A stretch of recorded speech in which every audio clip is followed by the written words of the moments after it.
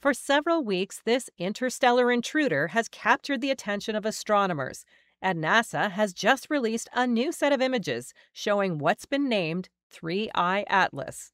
This is the third known interstellar object to pass through our solar system, and several space cameras have been taking images of it ever since its discovery on July 1st. NASA is now certain that 3I Atlas is a comet, although there was doubt at first. It had no tail, moved in strange ways, and even emitted a radio signal. Some even suggested it could be an extraterrestrial ship.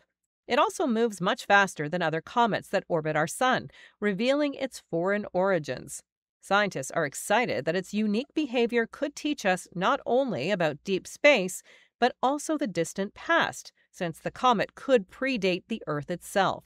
3I Atlas makes its closest approach to the Earth around December 19th, and NASA will continue to document its journey as it departs our solar system, never to return.